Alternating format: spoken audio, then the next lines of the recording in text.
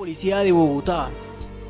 El intendente Ever Giovanni Patiño lamentablemente fue asesinado en horas de la madrugada de este miércoles mientras prestaba su servicio como oficial de vigilancia en el barrio Jorge Eliezer Gaitán en el norte de Bogotá. Casado, con un hijo, un excelente policía, eh, próximo a, pensionarse, que en este momento le rendimos un gran homenaje. Yo creo que es un sentimiento de solidaridad por parte de la institucionalidad, yo sé que ustedes también y por parte de la comunidad.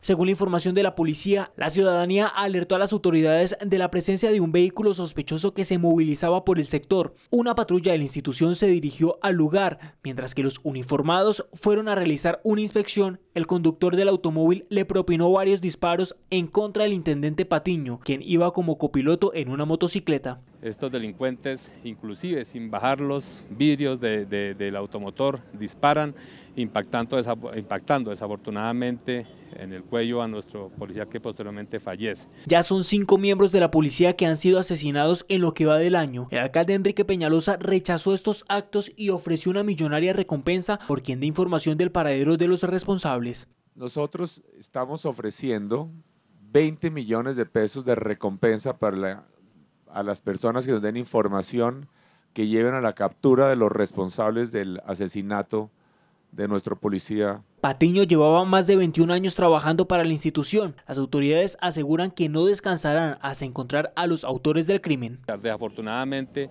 es incierta la situación a veces para poder preverlas. El delincuente acecha, el delincuente agrede de manera intempestiva y esto es lo que nos ha generado desafortunadamente algunos, algunos casos donde han fallecido nuestros policías en Bogotá. Los videos de las cámaras de seguridad del lugar son analizados por la policía y por la Fiscalía General de la Nación. Wilmer Burbano, Cable Noticias.